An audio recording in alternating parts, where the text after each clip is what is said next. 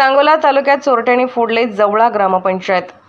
अज्ञात इसमाने ग्रामपंचायत कार्यालयाचे दरवाजाचे कुलूप तोडून आतमध्ये प्रवेश करू- करून लाकडी टेबल एक खुर्ची सीसीटीव्हीचा डीव्हीआर असा एकोणतीस हजार रुपये किमतीचा मुद्देमाल पळवून नेला.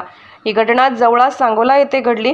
जवळा ग्रामपंचायतीत दहा हजार रुपये किमतीचा लाकडी टेबल दहा हजार रुपये किमतीची व्हील खुर्ची नऊ हजार रुपये किमतीचा सीसीटीव्ही डीव्हीआर आदी साहित्य अज्ञात चोरट्यांनी लंपास केले. चोरीची फिर्याद ग्रामसेवक दत्तात्रय रसाळ यांनी दिली आहे. ग्रामसेवक रसाळ हे दिनांक चोवीस नोव्हेंबर दोन हजार तेवीस रोजी दुपारी साडेचार वाजता ग्रामपंचायत कार्यालय बंद करून गावी गेलेले होते.